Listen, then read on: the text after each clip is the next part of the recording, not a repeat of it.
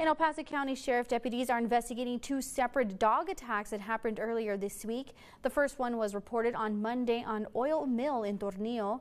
Investigators say a pit bull and a bulldog attacked an elderly woman. The woman sustained serious injuries but is said to be in stable condition. The dogs will be euthanized by animal welfare. Then on Tuesday, an 11-year-old child was attacked by a pit bull and German Shepherd mix. The child was not seriously injured and was treated at the scene near Pebble Hills Boulevard.